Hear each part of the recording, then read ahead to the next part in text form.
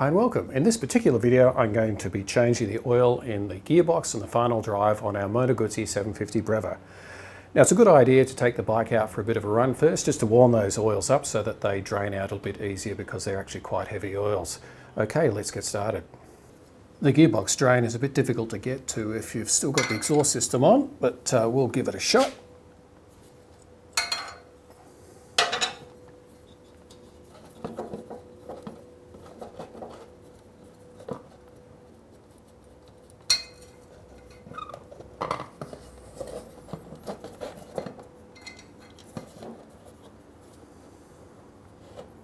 Now the drain plug on the bevel drive is a bit easier to get to.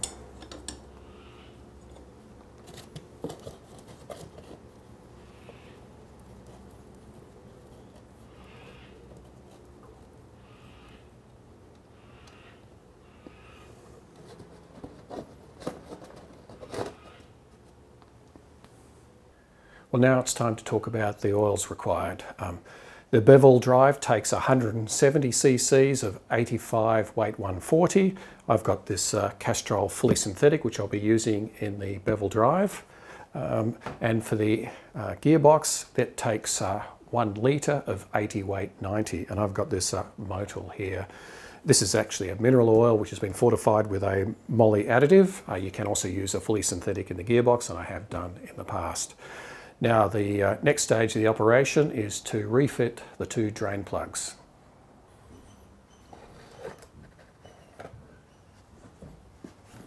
First we just uh, wipe up around the drain plugs so that um, we get any debris off. Then we refit it, fitting a new crush washer first.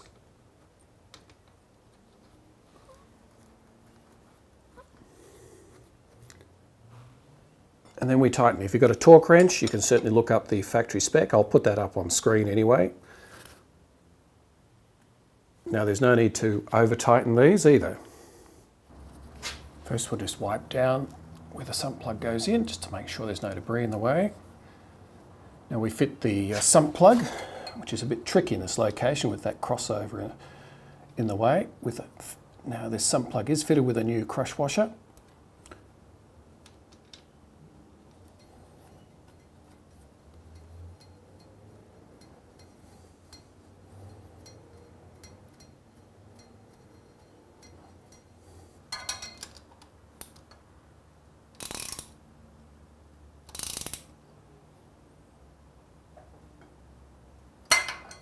Again, there's no need to over tighten that. Next we remove the filler plug, which also doubles as our level plug. And since this takes one litre, we can fill it straight from the container. Now you want to take this slowly because it does take time for the oil to settle in the gearbox. So it's very easy to overfill at this point and have it come out the uh, the filler slash level plug.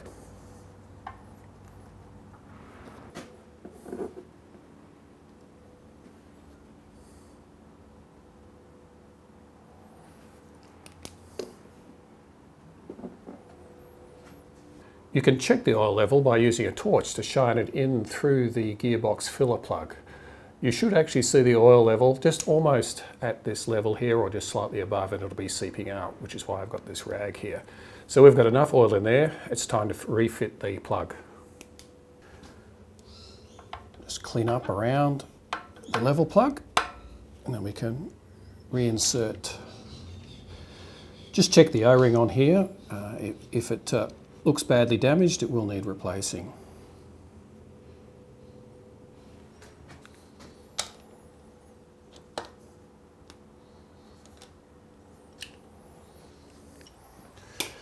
Just remove the level plug.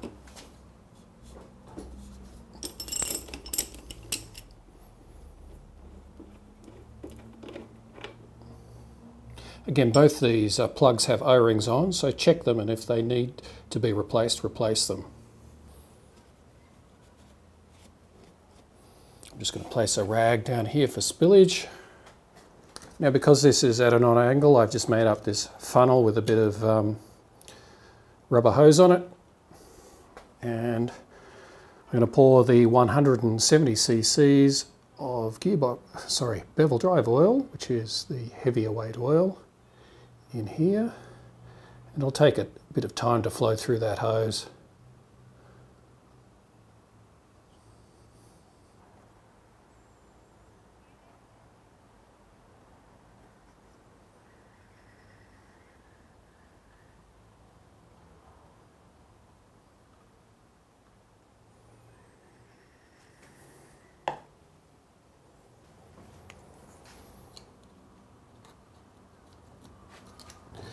Now we can refit our uh, filler plug.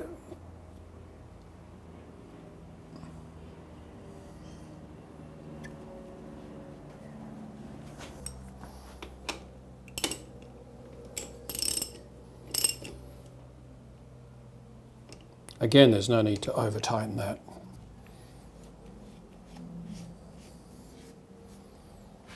Well, that's the gearbox and final drive oil changed.